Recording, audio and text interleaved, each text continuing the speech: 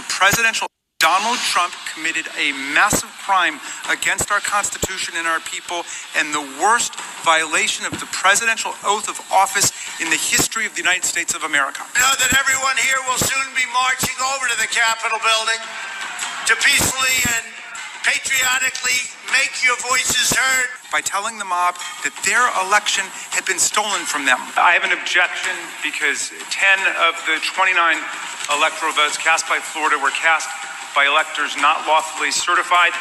Even then, after that vicious attack, he continued to spread the big lie. I think it's also critical to understand you can run the best campaign and you can have the election stolen from you.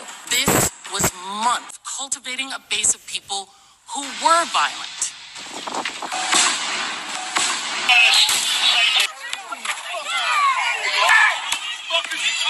Praising that violence, and and everyone beware. They're not going to let up and they should not.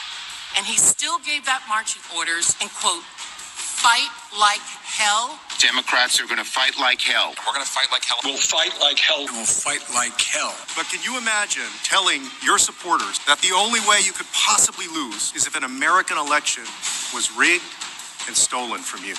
And you can have the election stolen from you. And ask yourself whether you've ever seen anyone at any level of government make the same claim about their own election.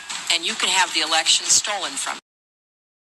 And ask yourself whether you've ever seen anyone at any level of government make the same claim about their own election. And you can have the election stolen from you. And in the months, the President made these statements. People listened. Armed supporters surrounded election officials' homes. The Secretary of State for Georgia got death threats. And they were shouting threats, you know, to us to, to kill us. We cannot go outside now. It's become so dangerous for us. When he saw firsthand the violence that his conduct was creating, I, I, I just don't even know why there aren't uprisings all over the country. Maybe there will be. He didn't condemn the violence, incited it further. they're not going to let up and they should not